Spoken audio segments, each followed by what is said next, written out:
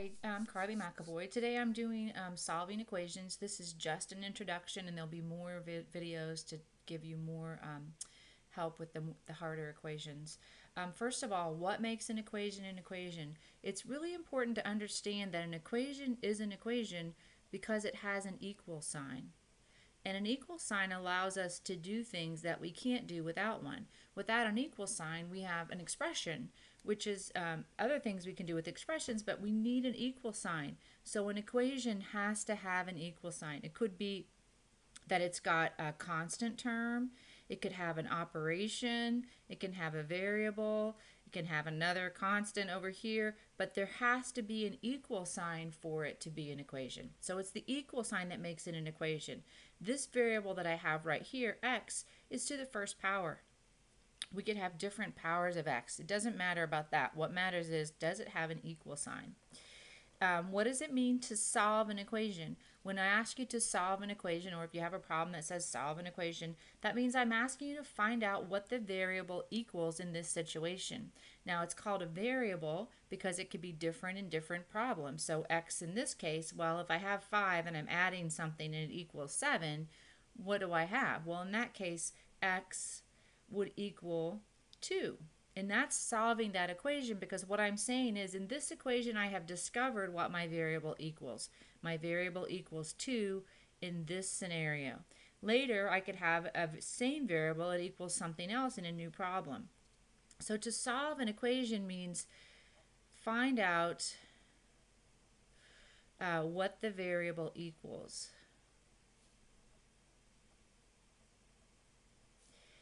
And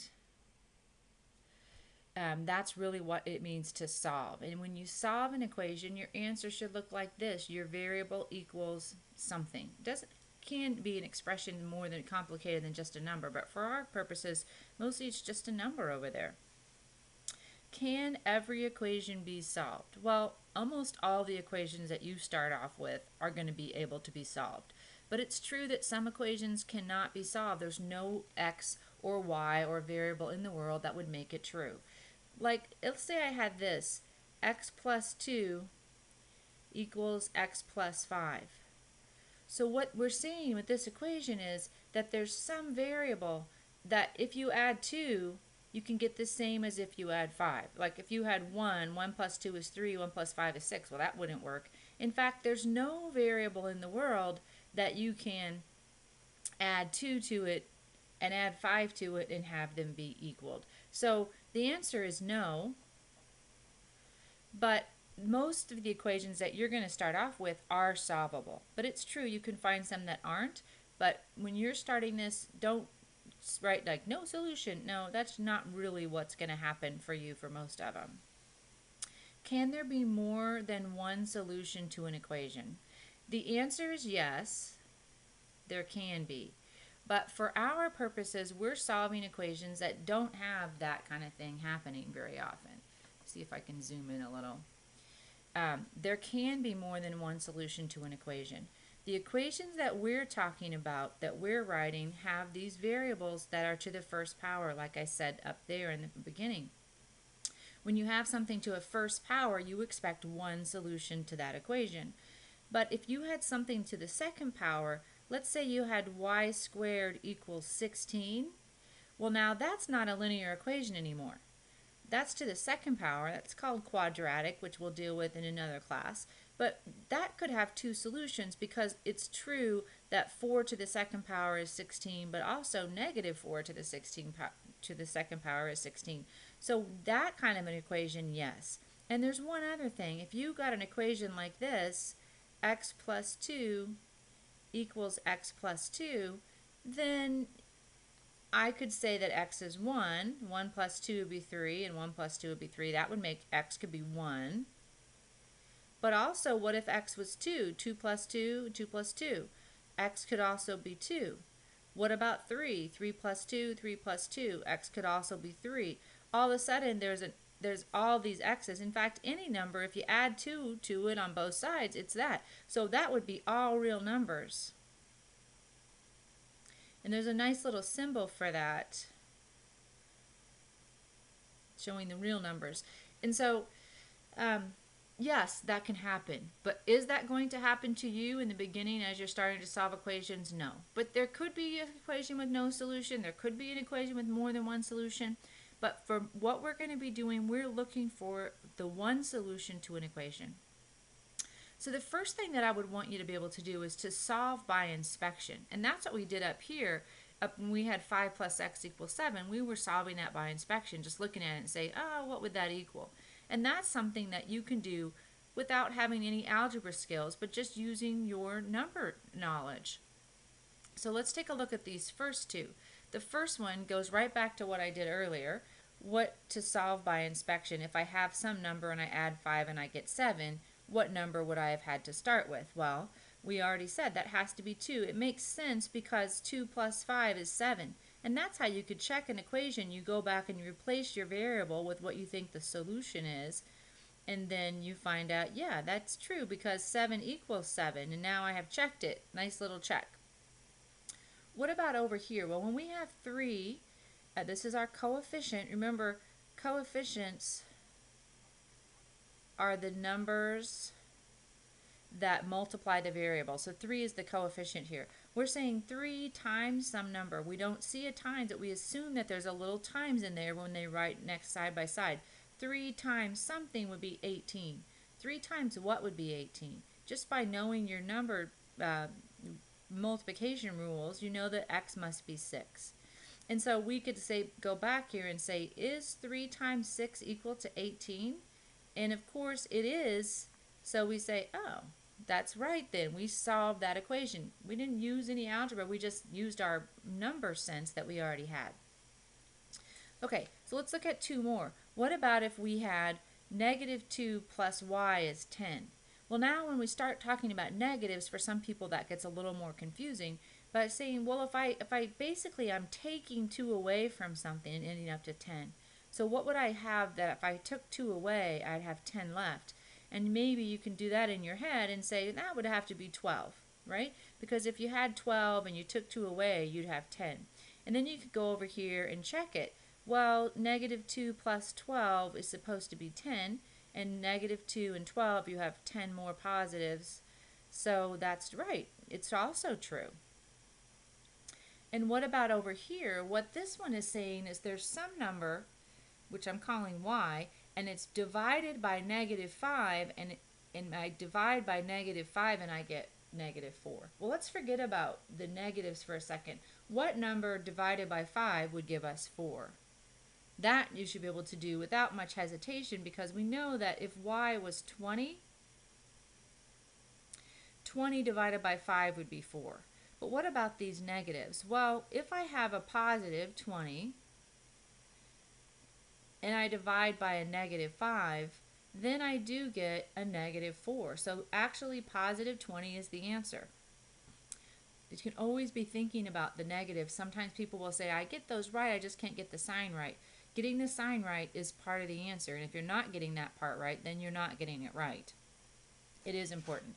Maybe you struggled a little bit with 3 and 4, and in general, these equations start to get harder. And since they start to get harder, we need a method in order to solve them. And so that's what we're going to be looking at is the method to solve these equations. There are two properties of equality that I want to talk about. And the first one is the addition property of equality.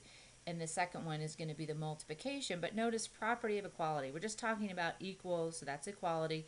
These aren't, these sound like oh a really complicated thing. It's not. It's just the addition. So we're talking about adding and then about equality or equations. Um, the addition property of equality says if A equals B, so the two quantities are equal, then A plus C equals B plus C. That's what it says. If the two things are equal, then we should be able to add the same amount to both sides and keep them equal. Also, we could subtract or add negative c to both sides, and that would also be true. Instead of adding a negative c, I'm just going to call that subtraction, but you can see why it's called the addition property. We're either adding a positive or we're adding the opposite of c, which could be a negative. And so um, if you think about it like a balanced scale, I'm going to do this really terrible drawing, but here's my scale. and I have, let's say 1 plus 2 over here, and I have 3 over there. Those should be the same size. Those are equal. 1 plus 2 equals 3. And if I was to add 3 over here, it would be out of balance unless I added 3 over there as well, right? If I want to keep those things equal, I have to do the same thing to both sides. That's what the addition property of equality is telling us. So let's try that. Some of these you might be able to use um, inspection. But what I'm going to say is let's try to practice the method when it's easy, and then when it gets harder, you'll have something to fall back on. So we did four by inspection. We're starting on number five here. So we have P, and remember, you're at your. Let's um, the, the direction would be to solve. And whenever we're saying solve, that question is what is the what is the variable equal? So I'm going to try to get P by itself. I always want to find out what P is, so I want to get rid of anything that's over there with P. So since I have P minus 4, I'm going to use that additive inverse property. And that additive inverse property says that if you add opposites, negative 4 and positive 4, then you get 0. And I don't want to write 0 here. Minus 4 plus 4 is 0, so I'm just going to write P because those other two things just cancel themselves out to 0. And over here I have 15 plus 4 is 19. And I can always check that 19 minus 4 is supposed to be 15 and in fact it is. This is the check. This is the answer right here. Of course you should be pausing the video and trying some of these and seeing how you do. Okay, over here I have this Q that I want to get by itself. So it's the minus 3 that I want to get rid of. And since it's a minus 3, I'm going to always do the opposite. Whoops opposite of 3 is a negative 3 is positive 3 because I want negative 3 and positive 3 to go away. They become 0. And now I have Q by itself, which is what I'm trying to do, and I have negative 18 and positive 3. Well, I have more negatives than positives by 15, so Q equals 15. That's my answer. I can always check. That's the nice thing about equations. It's really um, nice. I'm not, I was going to say really easy. Sometimes it's not so easy if you get a lot of fractions and stuff, but you always have the ability to plug in and check. Negative 3 and negative 15 does equal negative 18, and I checked my equation. Okay, don't panic if you get fractions and decimals in your equations. They, you handle them the same way, right? But I want to get x by itself, and since I want x by itself, I want to get rid of this plus 1 half. Since this is a plus, notice up here this was a minus, I did the opposite. Since this is a plus, I'm going to do the opposite, which is the minus 1 half. And of course, to keep my scales in balance, I need to do that to both sides. Now, it depends on your instructor, how it goes, whether you can use a calculator or not. If you can't use a calculator, you can do it by hand. Over here, plus 1 half and minus 1 half goes away to x. And now we have to say 3 fourths minus 1 half. Well, 3 fourths minus 1 half, that half is the same as 2 fourths, right? So 3 fourths minus 2 fourths is actually 1 half. So I have 1 half equals x. All right. Um, wait a minute. 1 fourth. Sorry. I was like, wait, that can't be right. I was dealing with fourths, right? Uh, 1 half is 2 fourths, sorry. 3 fourths minus 2 fourths is 1 fourth. It's good to be humbled. You know, people make mistakes in math. Doesn't mean you're bad at math. It just means you made a mistake. My, right away, I could say, wait, that doesn't work because when I thought about plugging in a half, a half plus a half would be 1, and I didn't have 1. But I can go over here and plug that in. one fourth plus 1 half is, um, well, I have to get a common denominator. One fourth plus 2 fourths is 3 fourths. Now this fraction isn't about how to do addition subtraction with fractions, but we have videos for that if you have trouble with it. Okay, what about this problem? Well, I want to get n by itself. So first I'm always recognizing what's the variable, and then I get n by itself. The variable is n, so I'm going to subtract 7 from both sides. Because I have a positive 7, I want to get rid of 7. That leaves me the n. Negative 6 and negative 7 is negative 13. And so I think that's the answer, but I can check it by, notice my variable's on the right here, it's on the left there, it's on the right here. It doesn't matter which side your variable's on. And n mine equals negative 13, that's the same answer, right? Both of those are the same. I just have it, doesn't matter which side they're on, so don't get hung up on that. Negative 6 equals 7 plus negative 13. Well, negative 13, there's more negatives than positives by 6, so it checks out. All right, we're going to do the multiplication property of equality on a separate video.